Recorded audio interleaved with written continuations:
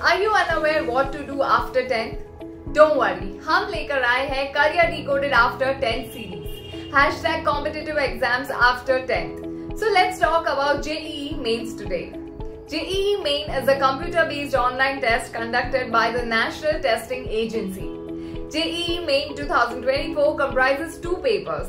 That is, paper 1 for candidates aspiring to pursue undergraduate engineering programs, BE and BTech at NITs, IITs, other CFTIs, whereas paper 2 for admission to B Arch and B Planning courses. JEE Main 2024 is expected to be conducted in two sessions.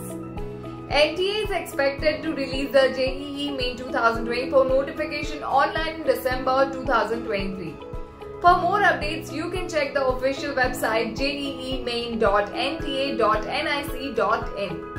Follow Catalyser for more such career related videos.